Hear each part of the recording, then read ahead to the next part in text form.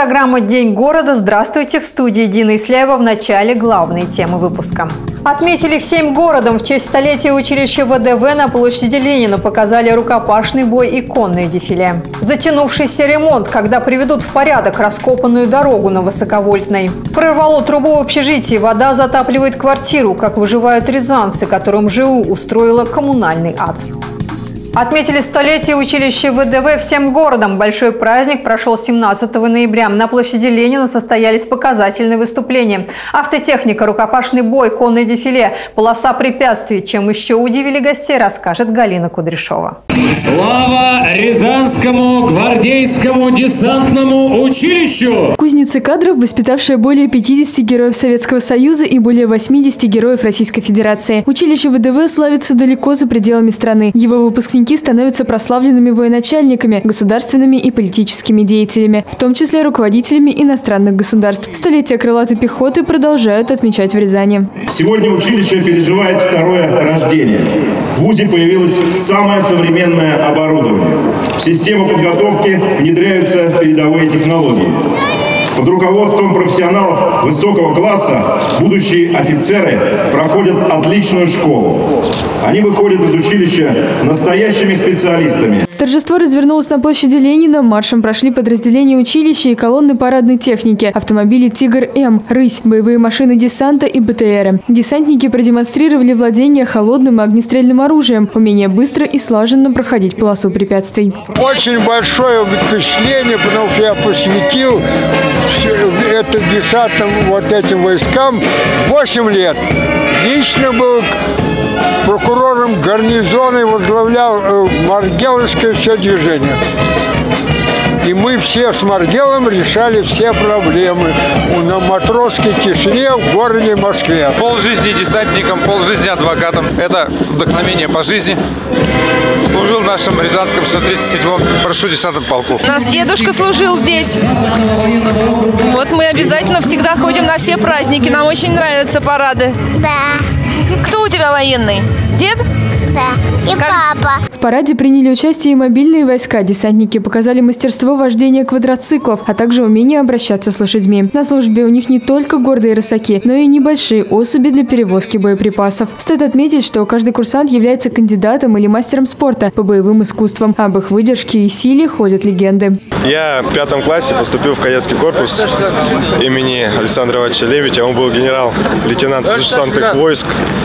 Я взял с него пример. С пятого класса хотел поступить в Рязанское гвардейское училище.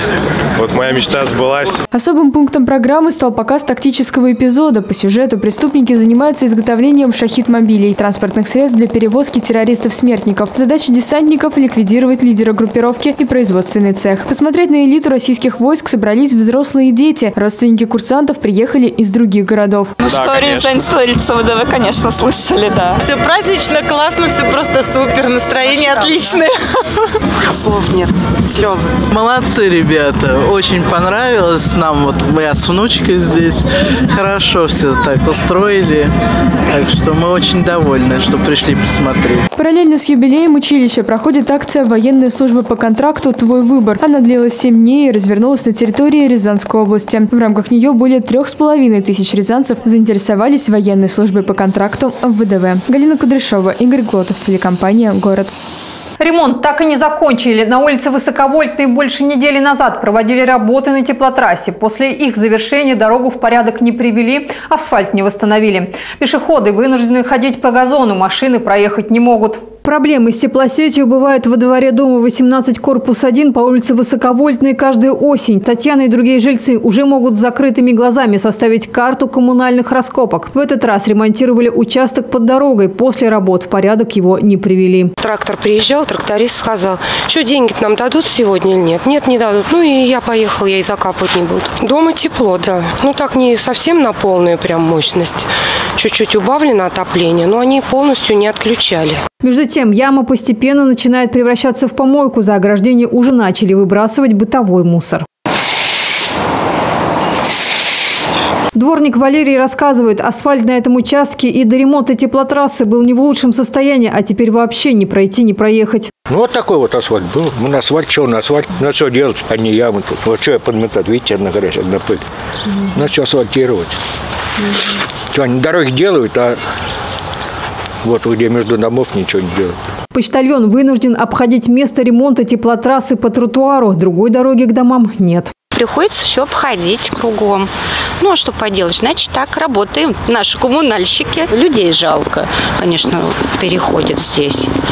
Ну, вот уже, наверное, сколько? Недель, наверное, накапано здесь, ничего не делают. Мы обратились в администрацию города и РМПТС с предложением прокомментировать ситуацию и будем следить за развитием событий. Дина Исляева, Игорь Глотов, телекомпания «Город». Коммунальное ЧП произошло в одном из бывших рязанских общежитий на улице Гоголя. На кухне прорвало трубу, теперь вся вытекающая вода скапливается в квартире. ЖУ отвечает, материалов для ремонта нет. Видео сняла жительница дома 7А по улице Гоголя. На кадрах видно, как из трубы общей канализации вода течет прямо на пол, и поток не останавливается. И на следующий день пришли, все раздолбили тут, все, добрались до этой трубы с дыркой, э, сказали, список материалов дали, которые надо купить, и ушли. Произошло это в четверг, 15 ноября. Прошло 4 дня, а представителей управляющей компании нет до сих пор. Ответ всегда один – собирайте деньги. В Владиславе написали список из необходимых материалов, суммарная стоимость которых около 3000 рублей. Из-за того, что платить она отказывается, труба до сих пор не заделана. Посюда у меня залазит палец, и вот отсюда как раз она льется. Ну, понятное дело, если залазит палец, какой там напор воды оттуда хлещет. Вся вытекающая вода попадает в квартиру Владиславы. Виной тому система коммуникации или что-то еще неизвестно. Факт остается фактом. Подвал квартиры заливает. Из-за влажности появились мошки и мухи, нетипичные для этого сезона. От э, этой влажности конденсат скапливается. Вот здесь набухают доски, все уже э, расшатанные. От этой влажности у нас даже вот тут вот маленькие грибы такие черные вылазили. Мы их убирали.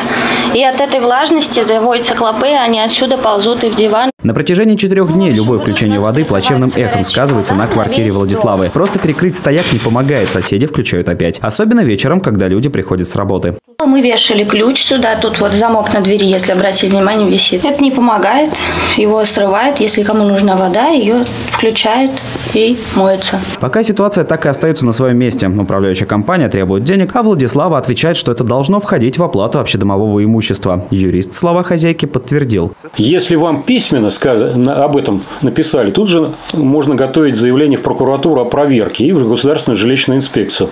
Устные какие-то объяснения не принимайте на веру, поскольку все это не соответствует действительности. В содержание жилья входят в том числе тарифы, сметы, которые предусматривают приобретение необходимого количества и комплектующих, и труб, и различных строительных материалов для того, чтобы содержать на квартирный дом в исправном и, для, для, и безопасном для вас состоянии. Олег Попов рассказал, что можно возместить и все повреждения, вызванные потопом. Для этого нужно провести дополнительные экспертизы и обратиться в суд. Есть и другой, более решительный метод работы с такими организациями. У нас есть порядок отзыва лицензии. Если организация не отвечает требованиям, предъявляемым к лицензиату, то обращение в Государственную жилищную инспекцию с указанием на факты нарушения лицензионного соглашения может лишить данную организацию работы. Валерий Седов, Игорь Глотов, телекомпания «Город». За прошедшую пятницу и минувшие выходные в Рязани произошло 14 ДТП, в которых двое погибли и 22 человека получили травмы. О самых страшных происшествиях репортаже Валерия Седова. 59 аварий, свыше 6 тысяч нарушений правил дорожного движения. Это краткое описание того, как прошли выходные в Рязани области. Но, к сожалению, не обошлось без трагических инцидентов. 16 ноября примерно в 21 час 30 минут на 410 километре автодороги Урал в Сасовском районе 41-летний житель Владимирской области, управляя грузовым автомобилем «Вольво» с полуприцепом, по предварительной информации совершил наезд на находившегося на проезжей части 33-летнего жителя Липецкой области. В дате происшествия 33-летний мужчина от полученных травм скончался на месте ДТП. 18 ноября, в воскресенье, примерно в 12 часов дня, произошла авария с участием сразу трех автомобилей. На 197-м километре автодороги Урал Урал, местный житель выезжал со второстепенной дороги и не пропустил автомобиль марки Daihatsu, который двигался по главной дороге. Это пока предварительная версия произошедшего. Два автомобиля совершили наезд на стоящий автомобиль Hyundai Solaris. На место выезжала машина скорой помощи. В результате происшествия травмы получили 6 человек. Также пострадал и 8-летний ребенок, который находился в салоне автомобиля Daihatsu. В понедельник, 19 ноября, в Рязани области произошло сразу две аварии. В районе 10 утра на улице Веденской, по предварительной информации, водитель автомобиля Dodge Stratus при повороте налево не уступил дорогу Subaru. В результате столкновения мужчины получили травмы. Пострадавшим оказана медицинская помощь. В 11 часов утра в Александро-Невском районе на автодороге Р-22 Москва-Астрахань 72-летний житель Калужской области, управляя автомобилем Opel Mokka, по предварительным данным не справился с управлением и совершил столкновение с пассажирским автобусом. В результате ДТП водитель автомобиля Opel Mokka погиб на месте. Водитель автобуса обращался за медицинской помощью. Пассажиры автобуса не пострадали. Транспортные средства получили механические повреждения. По факту происшествия проводится проверка. Все обстоятельства уточняются. Валерий Седов, Игорь Глотов, телекомпания «Город». Более 22 килограммов наркотиков было уничтожено в промышленной печи. Запрещенные вещества были изъяты сотрудниками полиции в ходе оперативно-розыскных и следственных действий. Распространял с помощью тайников закладок, связь с покупателями держал через интернет, применял методы конспирации. Однако они не помогли. 23-летнего мужчину задержали за распространение наркотиков. При этом действия полицейских были спланированы таким образом, чтобы исключить возможность уничтожения улик. В ходе специально подготовленной операции полицейские по месту жительства задержали мужчину. При обследовании арендованной квартиры сыщики обнаружили оптовую партию наркотиков, электронные весы и огромное количество полимерных колпачков и пакетиков для изготовления розничных закладок. Суммарный вес составил 1 килограмм 400 граммов. В ходе операции удалось выяснить, что мужчина уже привлекался к ответственности. Наркотики он распространял на территории Москвы, а сейчас получил повышение. Продолжил преступную деятельность в более крупном размере. Его задержали во время подготовки к розничной продаже первой оптовой партии. В настоящее время в отношении иностранца возбуждено уголовное дело. В соответствии со статьями Уголовного кодекса Российской Федерации за покушение на незаконный сбыт наркотиков в особо крупном размере ему может грозить максимальное наказание в виде лишения свободы на срок до 20 лет, либо пожизненное лишение свободы. Сейчас подозреваемый задержан по статье 91 Уголовно-процессуального кодекса Российской Федерации. Пожар в Лугах под Рязанью произошел в минувшие выходные. 17 ноября жители выложили в социальные сети фото и видео возгорания. По словам очевидцев, линия огня растянулась на сотни метров. 17 ноября в 12 часов 10 минут поступило сообщение о крупном загорании мостовой в Рязанском районе в районе населенного пункта Дядькова. К месту загорания был направлен один пожарный автомобиль. В результате пожара повреждена растится на площади около трех гектаров. Практика ориентированное обучение в действии. «Зеленый сад» помогает студентам освоиться в профессии. Один из объектов компании посетили будущие строители. Этаж за этажом возводится строительный комплекс Еврокласс в микрорайоне Кольное. Строительная компания «Зеленый сад» создает здесь целый квартал общей площадью 9 гектаров. Будущие строители, студенты первого и пятого курсов Рязанского политехнического института побывали на стройке и на практике увидели то, что до этого знали только в теории. Совсем скоро здесь появится пять жилых домов. И у ребят появилась уникальная возможность проследить за процессом с самого начала. Забивка свай стала главной темой этого урока на строительной площадке. Они узнали, как отсыпался земельный участок, э, какие сваи бьются, каким методом их бьют. Им ответили на все интересующие их вопросы касаемо э, забил свай, материал свай, крепость свай, как они обрезаются, крепятся к монолитной плите дома. Зеленый сад более 10 лет сотрудничает с Рязанским политехническим институтом и стройплощадки стали настоящей базой для прохождения практики для студентов. Организация э, «Зеленый сад», она не только, э, скажем, э, принимает студентов на практику, она оплачивает им работу за, за время прохождения производственной практики, она помогает кафедре промышленное и гражданское строительство, приобретает необходимую технику, вот, которая необходима во время работы, и очень благоприятно и благожелательно относится к студентам. Поэтому этим сотрудничеством мы очень довольны, хотим его обязательно это сотрудничество поддерживать. Сами студенты признались, что подобная экскурсия на стройплощадку была крайне полезной. Много нового узнали как старшекурсники, так и первокурсники. Привлекло то, что это связано с моей будущей профессией. И вообще это очень интересно, само как строится в большеэтажное здание, многоэтажное здание, извините, и как развивается фундамент. Мы узнали о том, как э, возводится свайный фундамент, как это все происходит на самом деле. Просто у нас э, мы делаем курсовую работу, и в ней мы также производим расчет свайного фундамента. Летом мы проходили практику, и, конечно, надеюсь, что э, вернемся на практику снова, потому что «Зеленый сад» ну, хорошую возможность предоставляет увидеть все то, что мы проектируем, так сказать. То есть одно дело это все мы проходим, а другое дело увидеть все это на стройке. Помимо того, что студенты познакомились с конкретными этапами строительства, они наблюдали, как на практике внедряются новейшие технологии и разработки, которыми славится «Зеленый сад». Здесь в первую очередь думают о комфорте и безопасности жильцов, поэтому все дома комплекса «Еврокласс» будут оснащены комплектацией антитеррор, устройствами обнаружения взрывчатых веществ и камерами видеонаблюдения во всех ключевых точках, как внутри дома, так и снаружи. Мария Рудая, Игорь Глотов, телекомпания «Город». Травы, звезды, свет в окошке. Выставка с таким названием открылась в детской творческой студии «Калибри». В экспозиции представлены графика, керамика и аппликация. Смотреть на мир золотыми глазами. Именно так определила девиз детской творческой студии «Калибри» ее бессменный руководитель и идейный вдохновитель Людмила Пронкина. Выставка «Травы, звезды, свет в окошке» задумывалась как демонстрация содружества и сотворчества педагога и его учеников. На одной стороне детские рисунки, на другой – работы мастера. Это была такая авантюра, потому что, честно вам скажу, как художник, работы взрослых проигрывают по сравнению с детскими. Потому что детские, ну, у них столько энергии, столько непосредственности и столько притяжения, что они иногда перетягивают на себя зрителя.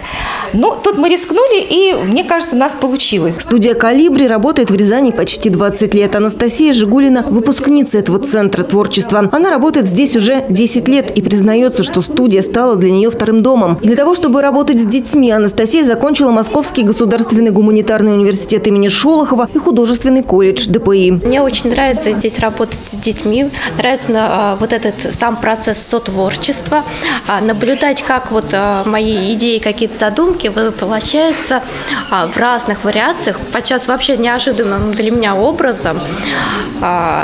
И вообще мне очень нравится работать именно в этом месте, потому что тут такой какой-то творческий коллектив. Работы Анастасии словно откровение. Она на хлопковых полотнах делится своим миром с окружающими. Вот так ей представляется лето в виде озорной девчонки с хвостиками и цветами в волосах. А вот возвращение в розовых тонах – это свой неповторимый взгляд на графику, непривычно живописную и яркую. Так Анастасия учит и своих учеников и помогает видеть повсюду чудеса. Вот эти пряничные домики были нарисованы с натуры после прогулки по улице Щедрина. Все детские работы, а их более 30, выполнены на обычном картоне. Арина Каткова занимается в студии уже два года. Сейчас ей семь, и она признается, что очень любит рисовать. Ариш, расскажи, пожалуйста, что это за картина? Кого ты рисовала? Что ты тут вообще пыталась изобразить? Сама себя. Ну, надо чем черепить и свое, там, например, нарисовать можно было бы какого-нибудь животного, какое тебе нравится. Расскажи, кого ты нарисовала? Сову. Помимо графических работ на выставке представлены керамика и аппликация. Вот, например, эти сказочные коты выполнены из соленого теста. Они такие же удивительные, как мир глазами ребенка. Здесь воспитанников учат видеть прекрасное в обычном и замечать то, чего не видят другие. Именно это помогает в будущем ребятам мыслить не только креативно, но и логично. Мария Руда и Сергей Данилин, телекомпания «Город». И в завершение выпуска информация от регионального МЧС. В ведомстве обращаются к жителям с просьбой сохранять спокойствие, оставаться на своих местах и не прерывать занятия или работу. 20 ноября в Рязанской области проверят систему экстренного оповещения. Сирены будут звучать дважды в 7.45 и в 14.20. Проверка проводится для оценки состояния систем оповещения о чрезвычайных ситуациях и поддержания их в постоянной готовности к использованию по назначению. Это все новости на сегодня. Еще больше информации вы найдете на нашем официальном сайте город62.тв и в группах в социальных сетях. Я с вами на этом прощаюсь. Хорошей рабочей недели. До встречи в эфире. Мама спит, она устала В пробках два часа стояла. До работы далеко, добираться нелегко. Каждый день ее я жду. Грустно мне бывает Потому что мамочки мне очень не хватает. А папа наш пришел с букетом И сказал нам по секрету. Будет времени в запас. Переезжаем в Еврокласс. Это в центре, здесь все рядом Всей семьей мы очень рады. Хочешь стать одним из нас? Заселяйся в Еврокласс Строительная компания «Зеленый сад». Предлагаем тишину и комфорт загородной жизни. Реализуем квартиру в новом жилом комплексе «Полянка», недалеко от Рязани, в Полянах. Перед домом оборудована детская площадка. Имеется достаточное количество парковых мест. В шаговой доступности пруд, детский сад, школа, мини-маркет. Телефон 27 55 55.